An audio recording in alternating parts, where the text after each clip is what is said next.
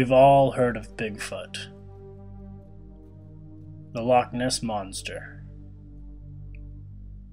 and maybe even the Chupacabra.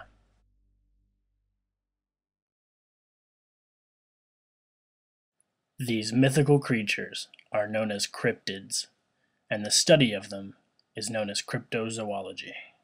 Examples of cryptids come from all over the world, and they can vary as much as one's imagination. But now there is a new cryptid, and it's in our own backyard. It's called the Oklahoma octopus. It is said to be an enormous creature, the size of a horse, with reddish brown skin. It is said to be responsible for a large amount of drownings in Oklahoma lakes, especially Lake Thunderbird and Lake Tenkiller, which have had problems with intruders before. It was even the subject of an episode of the Animal Planet's docudrama, The Lost Tapes. I won't. Come on. All right, we'll just. Oh, come on, sweetie. See, come on. You know. Guys, guys! Do you see that? The legend of the Oklahoma octopus is said to originate from a 200 year old Native American legend about a huge lake dwelling leech like creature that had an appetite for human flesh. But what does science have to say? Can a normally ocean dwelling animal adapt to fresh water? The answer is yes. Freshwater stingrays, dolphins, and even the bull shark have adapted to live either all or part of their lives in fresh water. Bull sharks have even been found 2,000 miles upstream from the ocean and were the original inspiration for the movie Jaws. And most recently, a species of small freshwater jellyfish has been discovered in Asia. They are also becoming invasive species in North America. But what do experts say about the possibility of a freshwater octopus living in Oklahoma? Well, one thing is that, that all known octopuses are marine. Another is that they're, they're benthic, or they live on the bottom. And they feed on the bottom. It would be very unusual to have an octopus swim to the surface and grab anything. But could an octopus be transplanted into a freshwater lake and survive? Very unlikely. Um, if it could, there would probably be instances of octopuses somewhere else. That um, they usually have some sort of pre-adaptation that allows them to do that. So you see something like in the mussels and the snails, there's a lot of them that live in fresh water, and it can move back and forth even. You don't see any of that in either the octopuses or the squids or the nautilus or any of their other relatives. None, none of the cephalopods do. Could an octopus adapt to freshwater? I doubt it. There's a lot of differences. The most obvious difference is the salt concentration.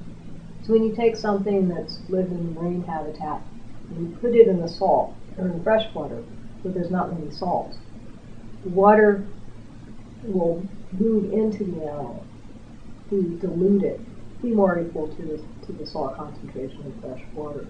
So an animal has to be able to excrete a lot of water and save salt. Selectively pick out salts from the environment and recycle salts for the body. Okay? And also, usually also be able to avoid intakes of water by being covered with an exoskeleton or something like that. And they don't have anything like that. Bivalves, snails, for instance, have shells on the outside, whereas octopus don't. How long do octopuses live? Could it be the same octopus living in the lake for hundreds of years? Octopus are, are short-lived, um, at most maybe five years. For a giant octopus, some octopus just live like six, six or eight months. Um, they lay eggs.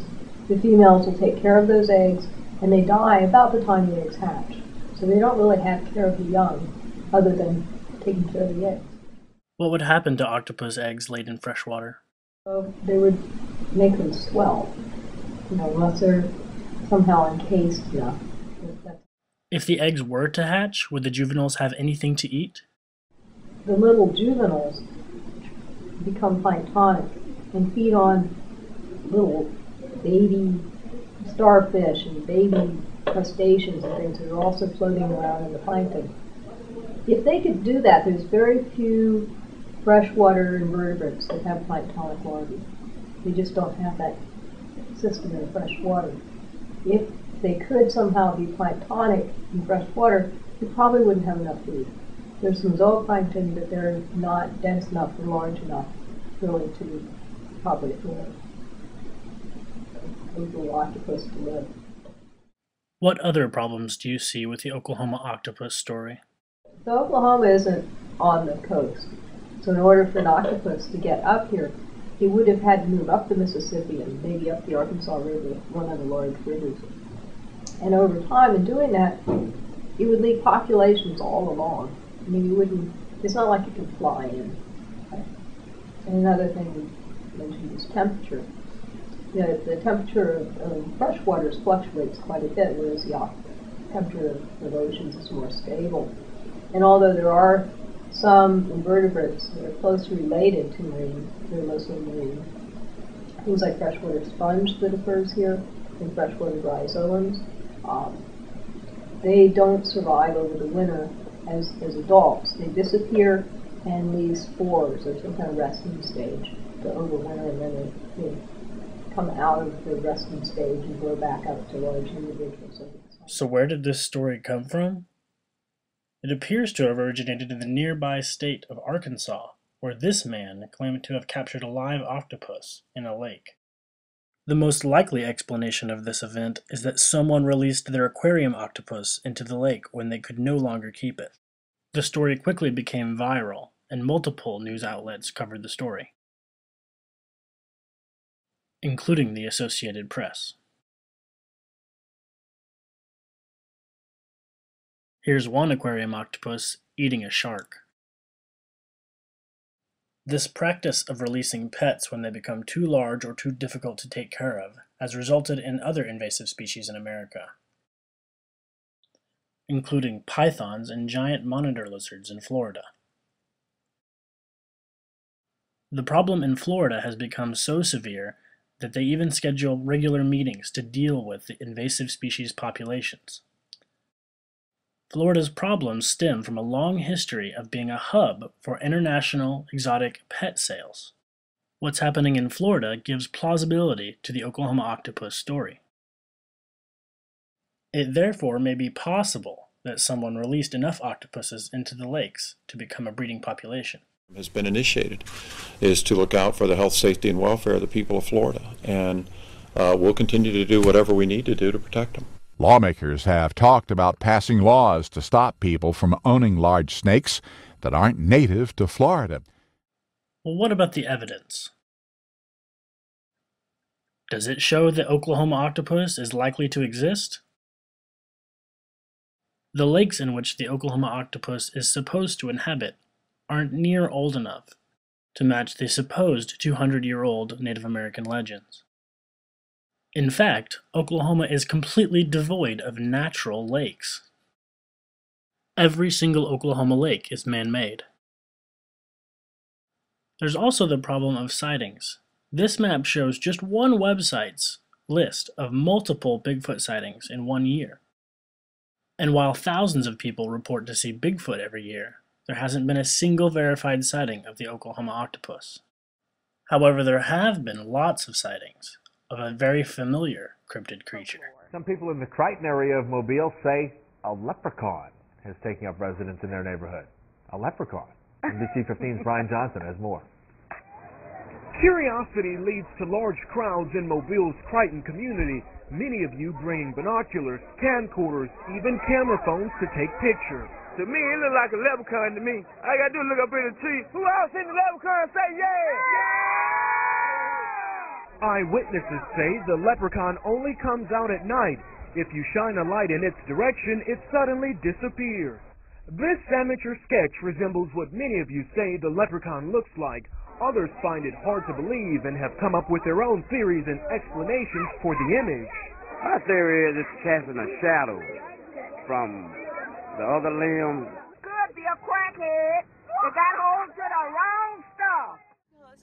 It now seems that while it is possible there might be an undiscovered species of gigantic freshwater octopus stalking the lakes of Oklahoma, it is most likely just a myth, a legend, a piece of folklore either based on a man catching a released pet octopus or created as a story on the internet.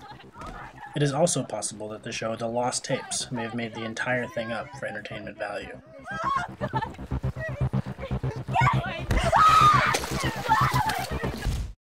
What's your expert opinion on the Oklahoma octopus? I've seen the video. It's not very convincing. Um, I've asked everybody I know that, that, works on. They don't work on octopuses here, of course. They work on mussels and snails and other other mollusks. They've never even heard of it. You know, and I, I called the Nature Center at the White Thunderbird, a friend of mine's the naturalist, and she's been there six years, and she had never heard of the Oklahoma octopus. And this is yet, this is where it's supposed to occur. This is where it's supposed to pull two people. Are octopus even dangerous? In Korea and Japan, they, they, they eat live octopus. It's a strange thing to eat. And occasionally people get choked to death because the octopus suffers with grabbing on and choking. so, in that, in that case, you know, unless they're eating the octopus, I don't think that's a problem.